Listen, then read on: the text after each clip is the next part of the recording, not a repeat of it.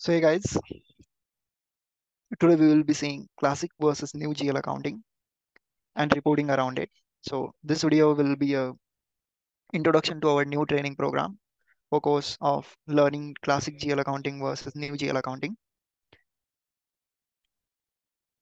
So our core principle behind this training program or behind this course is uh, it is a honest attempt to make student understand the why behind every step or every configuration that we do in the system right? So if we straightly go into the agenda of the course, then we will be covering the uh, introduction of the parallel valuation approaches or the multi-valuation approach. We'll be discussing about uh, why classic GL accounting or why new GL accounting is required in uh, in the SAP or uh, for the business. What are the different valuation approaches and why business needs to choose for different valuation approaches. Then what configuration goes around these both of these methods and then we will do the testing around these uh, approaches and then we will draw a financial report uh, considering the classic GL accounting approach and the new GL accounting approach. And finally, we will summarize everything that that we are, we are going to cover. So if we if we talk about the uh, the basic introduction on what is parallel valuation approach, then we will we will come around something like uh, financial reports, which needs to be generated by adhering to the accounting standards.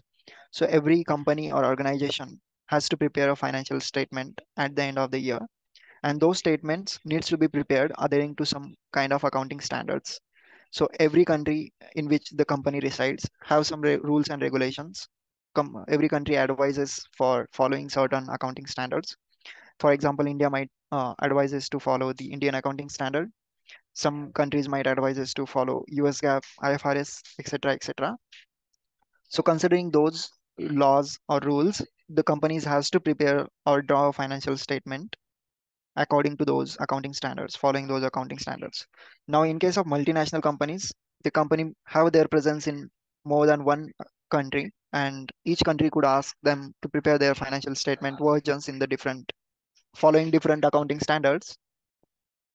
And then if, if the company's headquarter resides in a XYZ country, that country might ask them to prepare their group financial statement, group company's financial statement in by following the IFRS or US GAAP or might be any other accounting standard.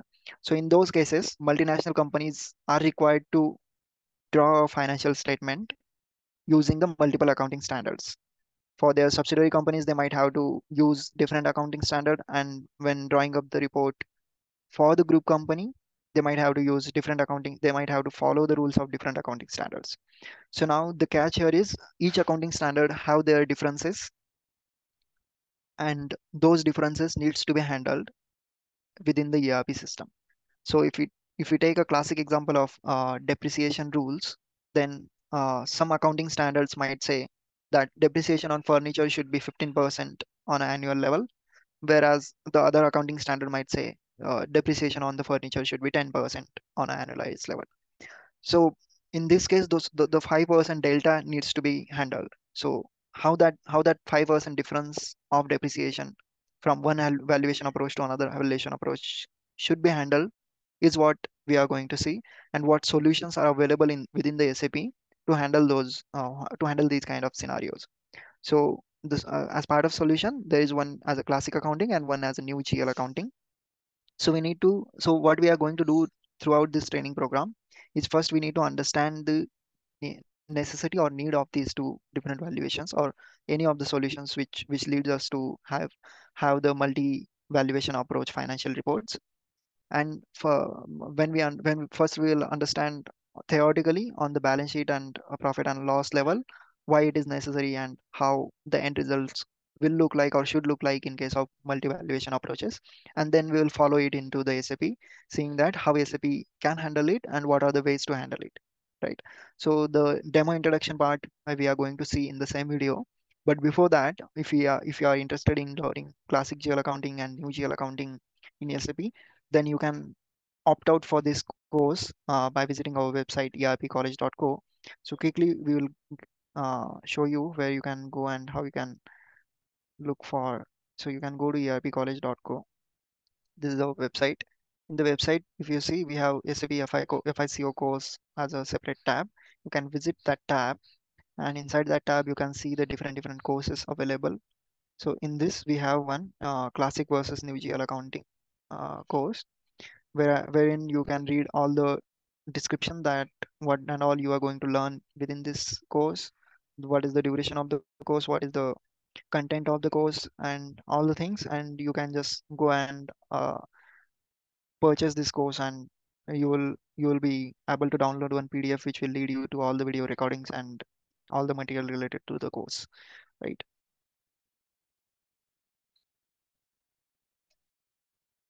And then apart from these modules now uh, new gl accounting will be uh, we can say it's it's kind of an add-on skill that uh, if we if we understand it and if we know it it's it's good to have or good to know kind of thing right? So new gl accounting uh, so basically we need to understand it's it's more of a concept than uh, much more configuration. We don't have to do any uh, too much configuration for this. But but we need to understand what is the new gl accounting and uh, what difference it makes in the system and from the business point of view right? So we'll start with the new gl accounting. We will see uh, the introduction like what is new gl accounting then we will see the classic gl accounting and then new gl so there are like these two different concepts. One is classic gl accounting and one is new gl accounting. And then what configuration we will need and then we will finally test both the uh, concept that are there right? So we'll start with the introduction of uh, of the topic first. So what is the need of new gl accounting and all? So firstly we will talk like the introduction of valuation approaches okay? So uh, why new gl accounting is necessary is because of the different different valuations uh, uh, approach of valuation or kinds of valuation business follows okay? So valuation is the process of determining worth of a company or asset okay? So when we say valuation approach uh, basically whatever we value in our day-to-day life or in in uh, anywhere we can have value anything with with the two three kinds of different kinds of approach right? We can value something as per the market uh, you know market price as per the inside company price and uh, same kind of like we can we can basically we can value anything with with the help of two three different different approaches right? So in the same way from a company point of view also we can value our company with the with the different different valuation approaches. We can uh, so basically valuation the definition of valuation is like valuation is a process of determining the worth of a company or asset right so there are various methods to evaluate a company. Multiple met multiple methods or particular valuation approach can be used to evaluate a company. Okay, so any company uh, or any uh, business can use multiple valuation approaches to evaluate their company, or they can stick to any one approach and they can keep evaluating their company on that approach. Okay, so the same way the valuation works. Similarly, for preparing profit and loss statement and balance sheet, basically the financial statements of a company, different kinds of accounting standards can be used okay? So uh, when it comes to financial statements like profit and loss and balance sheet the same way uh, we we have uh, different kinds of valuation approaches we can see or we can also call it as different kinds of kinds of accounting standards that can be used to evaluate our company or to prepare our financial statements right? A company has to decide by which accounting standards they should follow to prepare financial statement right so a company has to make a decision like which approach they are going to use to prepare their P&L and balance sheet, right? Uh, which accounting standard basically they are going to follow to prepare their financial statements and it depends on the structure of a company like where is the company's group office resides or group company resides and what are the sub subsidiary companies and in which and all countries it is it is located right so depending on that company has to decide which account as per which accounting standard they need to uh, uh, create their profit and loss and balance sheet statements. So organization can have multiple financial statements prepared as per different accounting standards. Okay. So particular company or any multinational company have to prepare their financial statements or the profit and loss and balance sheet in as per multiple accounting standards. Okay. So basically we need to understand what is what is accounting standard. So accounting standard is nothing but a, a, a book or a guidelines defined by different different countries or uh, globally also there are like some accounting standards that are followed so accounting standards have certain rules uh, inside it uh, for making up the accounting entries or for preparing the balance sheet and profit and loss there are like certain rules and regulations prepared by each country or even uh, certain authorities uh, they have they have published their own accounting standards and company can use any of those accounting standards to prepare their financial statement okay So if, if company is uh, residing inside India, they have to they have to follow Indian accounting standards. Or if someone is in uh, maybe the company is in US, they have to follow US GAAP, like generally accepted accounting principle, right? So these kind of accounting standards company has to follow in order to uh, prepare their financial statements. Okay, now this this totally depends on the uh, company's organizational structure. So if we take an example, okay, so we'll just create a new sheet for new GL accounting. Right. So if we take an example, let's say we we have a, a company called Amazon, right? Amazon uh, so if we take an example of Amazon, so we all know like Amazon's group office or the the main head office of Amazon resides in US, right? So Amazon is basically a company of US, and then Amazon have uh, their offices or their operations or their business spread across all over countries, like across the world in different different countries. In they have their offices or companies in India, right? They have their companies in Europe, right? Uh, similarly for a bunch of Asian countries, European countries, and uh, even in the uh, American continent, right? So in this case, what will happen? Let's say they have one one company in India, right? Let's say they have one one company in India and uh, ABC company in India. So when this ABC company will uh, will reach their uh, the end of the year of their or the financial year end, what this what this company has to do this company firstly is liable to submit their uh, profit and loss and balance sheet to the indian government right? So they have to prepare a balance sheet. First of all they have to prepare uh, financial statement as per as per indian uh, accounting standard. Indian yes okay? As per indian accounting standard they have to prepare their financial statement first of all right? Because this company resides in india they they runs their operation in india so they have to file income tax return to the uh, to the indian government. And for that reason they have to prepare uh, their financial statement as per the indian accounting standard right?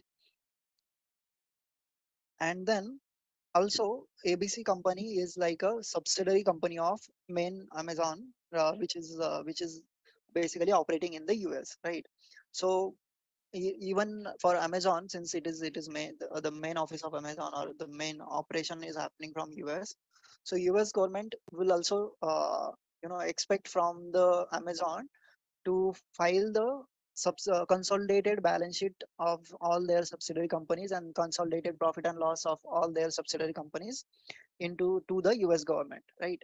So for that reason abc company also have to submit its financial uh, reports to their main company as per the us accounting standard so the second thing that abc company has to do is is prepare financial statement as per US GAAP, right? US GAAP means US uh, generally accepted accounting principles, right? So these two now these two becoming as a two valuation, right? Two valuation approaches, right? These are like two separate valuations. One is one is as per Indian accounting standard, one is as per US GAAP standard. Now US GAAP mostly there are the rules of accounting will uh, will be similar, but there will be uh, some cases where the rule uh, some some acts or some laws or some accounting standard in us GAAP is different and uh, some standards in indian as per indian uh, as will be different so we need to we need to consider both the both the evaluation approaches and we need to prepare two separate financial statement one is as per our accounting standard and another one is as per our us GAAP right so this is this is basically the requirement now for us so uh, the company ABC company has has to submit their financial reports as per two different accounting standard. One is as per Indian accounting standard, one is as per US GAAP standard. So they need basically separate two separate sets of financial statement. Okay. So this is this is what we call as uh, different valuation approaches or uh, preparing financial statement using the different accounting standards. And accounting standards we have uh, majorly used accounting standards are like IFRS, which is like uh, a globally accepted accounting standard which is like mostly used by the global companies GAAP is also again uh, global accounting standard which which can be which is followed or accepted in multiple countries ind as is indian accounting standard ifrs is is used in uh, uh, in european countries as uh, uh, as their accounting standard so so every country basically will have their own accounting standard and countries will also accept the international accounting standards like IFRS and GAAP even if if Indian company decides to prepare financial reports as per IFRS or GAAP, that is also accepted uh, in many countries. Right, so it's it's depend it's it's a call of uh, business in which uh, as per which accounting standard they want to file uh, their their financial reports. And right now we just took an example of one one company where uh, by the by the legal requirement they have to they have to prepare two separate sets of financial reports. One is as per Indian accounting standard, one is as per US GAAP.